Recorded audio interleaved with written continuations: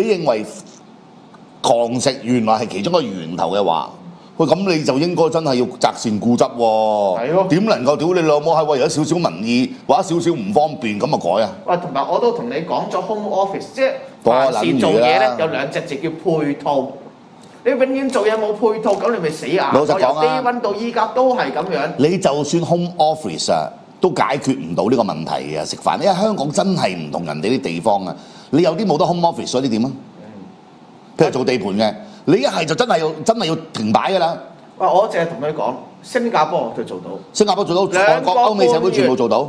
金堂石人哋做到，有翻啲緊急嘅崗位啦。你好似地盤嗰啲，佢咪唔使你開咯。係啊佢都得㗎點解啊？佢俾咗補償你，啲鋪頭俾咗免租金你，係得啦，我哋我哋我哋講時間呢個係垃圾，但係我淨係想講。偏偏唔做。